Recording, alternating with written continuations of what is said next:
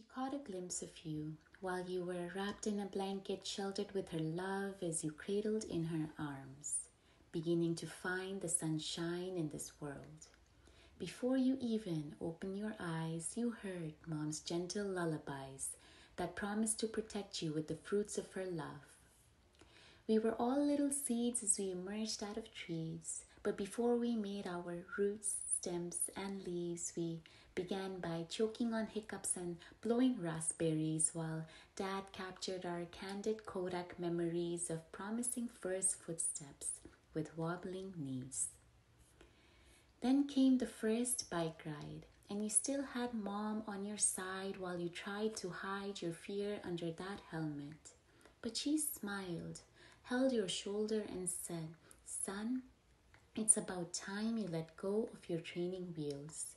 And at that, she pushed away her little seed and watched it fall headfirst onto the soft ground because she knew that in the seed was a voice waiting to be found.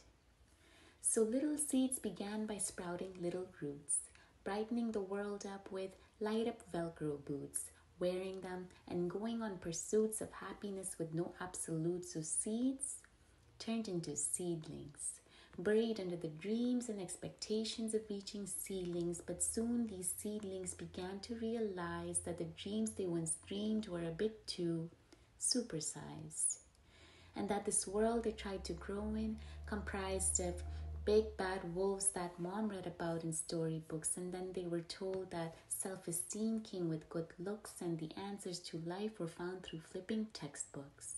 But in the midst of being stuck in all this mud, little seedlings started to sprout their buds because they began to find direction as they surrendered their imperfections. This is the world that gives more than it takes, and it gives a voice to each seed that's raked and through every slip and fall, they found ways to stand tall. With their humility kept high and their pride kept low, they emerged from the ground below, and that is how little seedlings learned to grow.